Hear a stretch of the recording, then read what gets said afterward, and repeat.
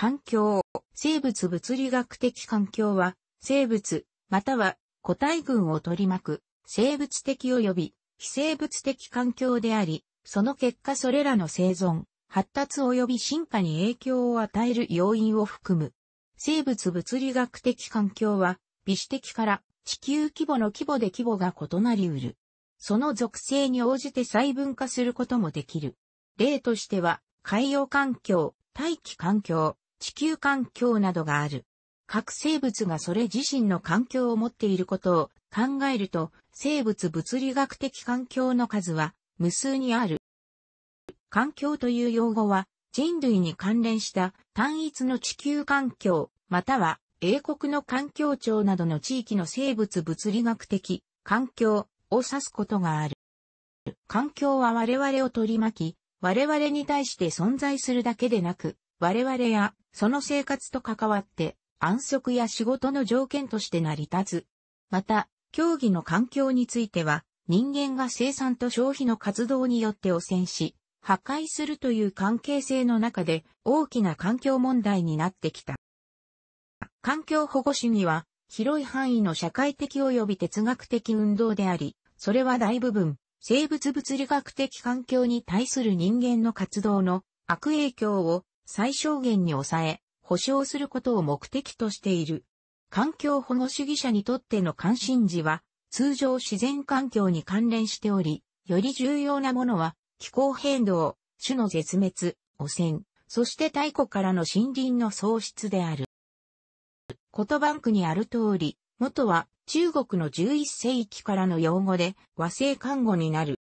日本における用語、環境の導入過程、早田治早稲田社会科学総合研究2003によると、環境はエンバイロメントの訳語として全国公助協会理事長で大日本郵政会の創始者でもある市川玄が1900年にパーカー氏統合教授の原理書出でそれ以前はエンバイロメントの訳語として肝臓、外界などが使用されている。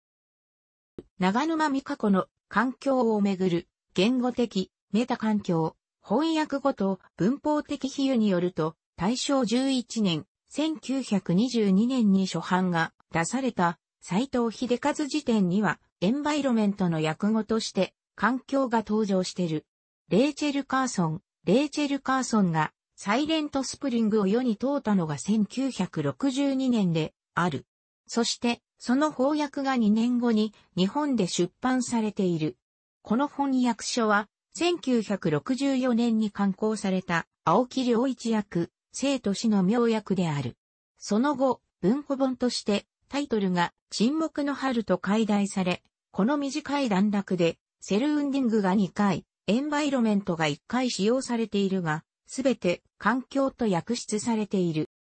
1961年設立の環境開発センターにすぐに入所した田村明は浅田隆の戦略、都市計画化プランナーズナンバー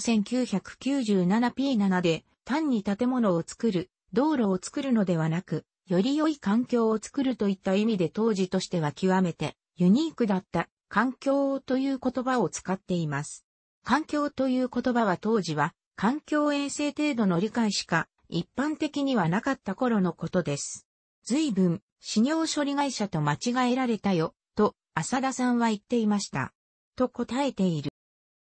小林春人、環境デザインと、設計、設計その発想と、展開1996年、丸も出版書集にも、私の記憶では、環境という言葉が日本で計画設計の対象として用いられたのは、東京都によって実施された代々木公園計画設計検証募集1964年に橋を発していると思う。当時、環境という言葉に触れた多くの人々が、環境衛生という捉え方をするのが普通の状況下あった。私たち環境計画研究グループのメンバーの集合場所に環境計画研究室と張り紙をしておいたら衛生機材のセールスマンが訪れてきたという時代であった。とある。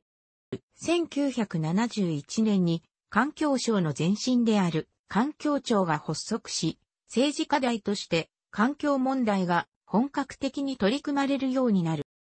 生き残ったすべての生命はその環境の条件に順応したに違いない。温度、光、湿度、土壌栄養素などはすべてあらゆる環境内のあらゆる種に影響を与える。しかし、人生は今度はその状態を様々な形で修正する。大気中への酸素の混入など、私たちの惑星の歴史に沿ったいくつかの長期的な修正は重要である。このプロセスは、その代謝に炭素を使用して、大気中に酸素を放出する、嫌気性微生物による二酸化炭素の分解で構成されていた。これは、酸素ベースの植物と動物の生命、大きな酸素化現象の存在につながった。他の相互作用は隣接する非森林地帯と比較して、森林が温度サイクルに及ぼす平滑化効果のように、より直接的で単純である。環境科学は、生物物理学的環境内の相互作用の研究である。この科学分野の一部は、環境に対する人間の活動の影響の調査である。生態学、生物学の解分野、及び環境科学の一部は、人間の環境への影響の研究として誤っていることがよくあります。環境研究は人間と彼らの環境との相互作用の体系的な研究である、より広い学問分野である。それは自然環境、作られた環境及び社会的環境を含む広い研究分野である。関連する研究の一つは、生物物理学的環境を研究するために地理情報科学を採用することを含む。環境の中でも、主に自然に関する諸問題を環境問題という。生物とそれを取り巻く環境との学問を生態学という。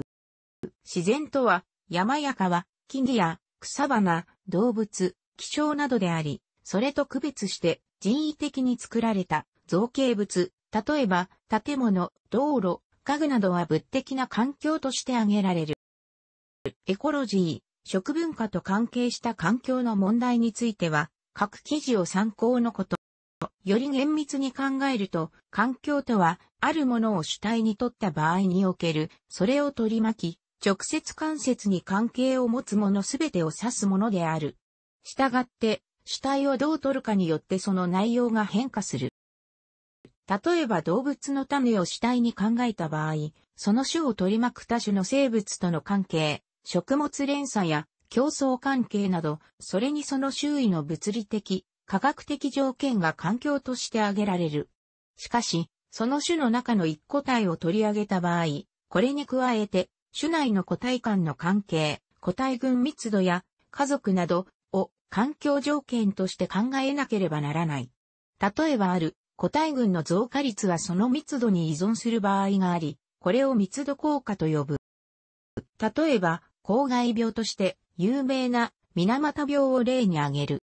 この病気の原因は、窒素水俣工場の廃液に含まれた水銀が水俣湾の生物に取り込まれ、食物連鎖を通じて変化、濃縮された上で、地域住民がそれを摂取し、その毒性によって発病するものである。いわゆる公害病というのは、このように人間が原因物質等を作り、それが直接に人間に来るのではなく、その地域の生物群衆に取り込まれ、生態系の循環を通じて、再び人間に取り込まれた時に、そこで初めて結果が現れるものである。公害というのは、公の害、つまり人間の働きで環境に働きかけたしっぺ返しが人間に戻ってきたという把握に基づく。つまり、環境の主体を人間と捉え、人間がそれを取り巻く環境を汚染したため、その悪影響を人間自身が受けたと見るわけである。しかし、この病気の被害者を主体に見れば、話は大きく食い違うことになる。その場合、窒素水俣工場という一部の人間、企業の活動が海を汚した結果、その環境汚染の影響で有毒となった魚を食べた食物連鎖を通して猫や漁民が被害を受けたという風になる。この場合、明らかに窒素水俣工場側が加害者、漁民が被害者の立場となる。この結果の差は人間集団内の差異を視野に入れるかどうかに関わっている。ただ、いずれの立場を取るにせよ、人間を取り巻く環境を含めて考えなければならない問題ではあるので、それを環境問題というのは間違いではない。しかし、環境という言葉が内容を曖昧にするのに役立っている側面を忘れてはならない。2006年は水俣病公式認定50周年にあたり、時の環境大臣の小池百合子が政府として公式謝罪した。人間集団を主体に取った場合には、以下のようなものが環境として取り上げられるであろう。集団内の個人を取り上げた場合、さらに次のようなものが取り上げられる。依然課題として残る環境問題として以下のようなものが挙げられる。楽しくご覧になりましたら、購読と良いです。クリックしてください。